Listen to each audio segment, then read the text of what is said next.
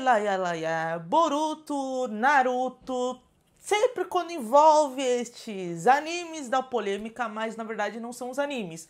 Agora é o mangá. Vamos lá acompanhar ai, o vídeo de hoje. Sabe aquele console que dá problema, estraga e nem tem garantia?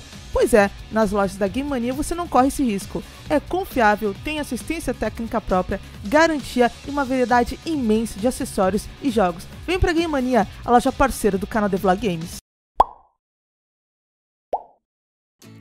Então, galera, olá pessoal do canal The Vlog Games, aqui é a Solange e o vídeo de hoje é para falar o que que os caras estão com a cabeça de fazer com a Sarada. Até os cachorros estão revoltados, olha só. Revoltados, ó, capta o áudio certinho aqui, como eles estão revoltados. Por que estão revoltados? Eu vou explicar porque estão revoltados. Olha essa capa linda. Olha essa capa esplêndida do capítulo. Lindo, né? Muito bonito. Não é de agora que a sarada, sarada, salada, sei, sarrada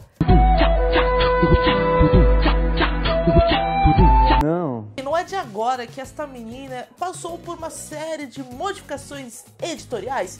Quem já assistiu o Bakuman sabe que às vezes o autor escreve, o editor vai lá, olha, hum, acho que a audiência não vai curtir isso, dá um toque, falta um toque de genialidade, falta uma parada, daí o editor vai lá e às vezes caga. Ou às vezes o próprio autor muda de ideia e acaba fazendo as coisas da cabeça dele. O problema é que a Sarada depois aí de um arco ali do mangá do Naruto se fechar, aquele arco do filme. Pois é, aquele arco do filme. É, a Sarah dela trocou de roupa por uma roupa um pouco mais saliente. Eu, eu, particularmente, a roupa em si, os shortinhos. Assim, eu já vi coisa pior nos animes. Mas o problema é que se trata de uma criança de 12 anos. Sim, 12 anos. E o comportamento dela, além da roupa, mudou muito. É, antes eram umas coisas sutis, como ah, ela se achar toda sexy e poderosa. E não tem problema nenhum uma ninja se achar sexy e poderosa. Temos aí a Tsunade para provar isso. O problema é que ela tem 12 anos.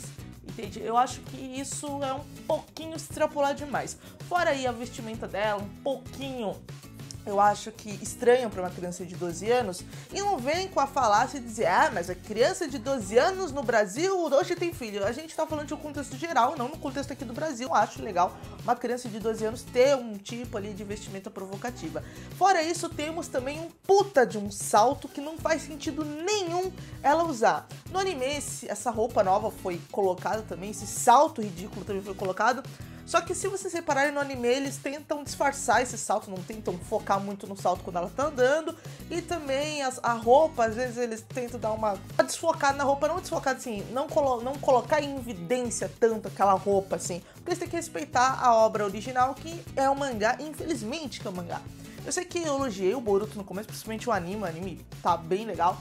Só que o problema da personalidade da Sarada tá complicado. E olha estas páginas aqui. A gente vê aí o Boruto no quarto, a espreita, ela repara com uma Uchiha onde joga shuriken e ela tá de óculos. Nunca vou entender uma Uchiha de óculos. Enfim. E dela joga e percebendo que é um intruso, hum, dela desconfia que é o Naruto, que é o Boruto, desculpa. Tá, também, né? Ah, cara de um com focinho do outro. E daí ela pega assim. Tô tentando sensualizar. Não tá dando certo, mas vamos lá. Ela pega assim,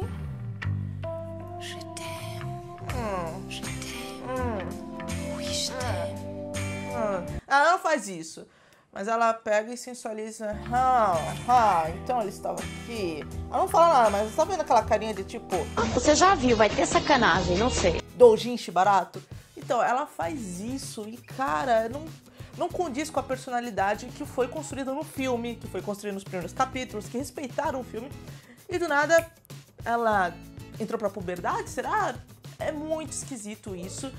E a gente tem uma série de justificativas, uma série de perguntas. Eu quero que vocês comentem o que, vocês acham disso. É, o contexto de pedofilia no Japão é bem amplo, tá? A pedofilia lá não é aquela incentivada, mas quando ela não é praticada, vamos dizer, ela é meio que tem uma vista grossa, porque eles preferem que os caras tenham uma mídia, um conteúdo desenhado, do que o cara ir lá e, e rolar mesmo o, o conteúdo explícito de pedofilia, o cara até louco ir lá e, e praticar pedofilia. Uma coisa muito esquisita que tem no Japão essa vista grossa a, a sugestões de, de pedofilia em animações. É, eu acho isso, eu sempre achei isso muito estranho nos animes, é uma coisa que eu não gosto. E talvez eu esteja exagerando, sim, talvez eu esteja exagerando porque não chegou ao nível de Eti, o Boruto. Mas no mínimo é estranho uma personagem do nada mudar a sua personalidade a ponto de ser sexualizada aos seus 12 anos. Eu estou problematizando? Talvez eu esteja problematizando, mas vocês podem me dizer se eu estou ou não problematizando, se eu estou sendo muito rígida, muito conservadora, não sei, quem sabe. Mas eu senti essa estranheza e essas imagens desse capítulo, essa capa, até a, a menina, filha do Choji, que ela é gordinha, que ela sempre foi vista de uma maneira meio destrambelhada, ela ficou meio gordelícia ali, porque ela tá. E nada contra ela ser gordelícia, mas assim, eu estou tentando aqui exemplificar que ele até deixou uma personagem que até então não tinha nenhum apelo sensual, tanto que eles até ridicularizam essa personagem, o que eu não acho legal, não acho mesmo.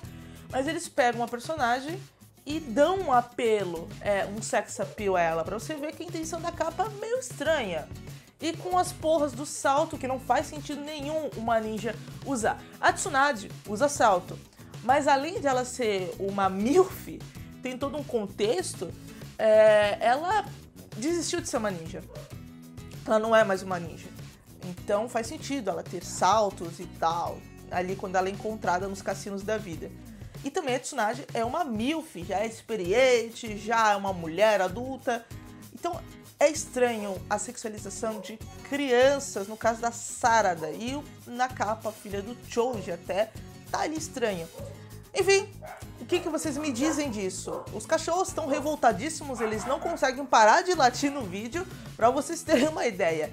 Mas espero que vocês tenham gostado desse questionamento que eu fiz. Eu gostaria que vocês me ajudassem a complementar e compartilhassem esse vídeo nos grupos de Facebook, nos grupos do WhatsApp. Esse canal é um canal geek. Se você tem amigos que gostam de anime, que gostam de videogame, que gostam de cultura nerd, bora compartilhar pra gente aí, pra crescer os ilustríssimos aqui do canal. E não se esqueça de deixar o like e notificar o sininho, sempre vídeos às 8h30 da noite. Então eu vou ficando por aqui, até o próximo vídeo, fui!